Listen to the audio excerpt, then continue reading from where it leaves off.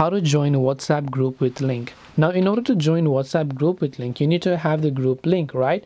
So assuming that the admin who created the group maybe shared the group link with you right? So normally they might share the group link with you by just going to this invite via link option. Then they must have given you the link. Now what you have to do is you simply need to actually paste this link on any browser. So not in the whatsapp app but whenever you paste this on maybe let's say any browser it will automatically redirect you to that particular link on the whatsapp app. So right here you'll be able to go ahead and then basically join that particular group here. So let me just go ahead and then simply select this particular option only.